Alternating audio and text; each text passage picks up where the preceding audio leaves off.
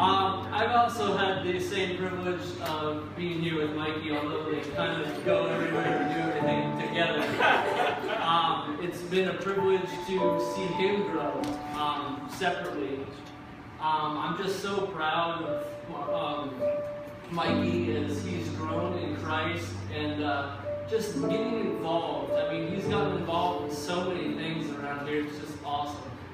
And I'm just so proud that he's made this um, statement today um, as we pray um, for Mikey.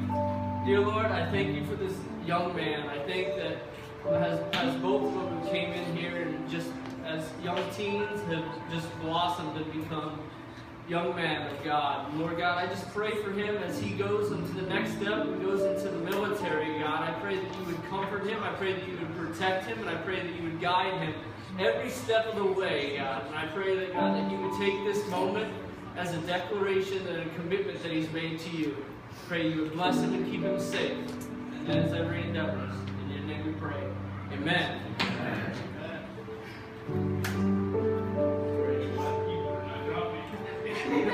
Mikey, because of your declaration and faith, I now baptize you in the name of the Father, Son,